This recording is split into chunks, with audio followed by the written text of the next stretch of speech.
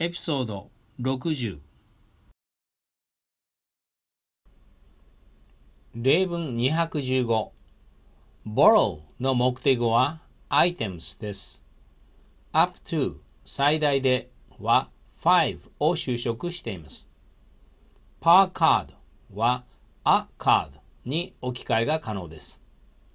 except for 以下は副詞で前の文を修飾しています。Those は items を置き換えた代名詞で labeled new は those を修飾する過去分縮です。この文のようにダブルクォーテーションで囲まれた文の中にさらにダブルクォーテーションを置く場合はシングルクォーテーションにします。new がこれにあたります。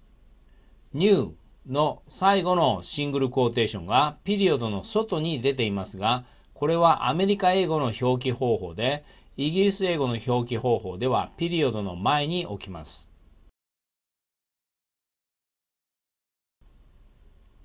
例文216 attribute という動詞は to と共に用いるのが一般的なので attribute という単語を見たら後ろに to が来ることを予想します。of print publications は popularity を of electronic media は rise をそれぞれ修飾しています。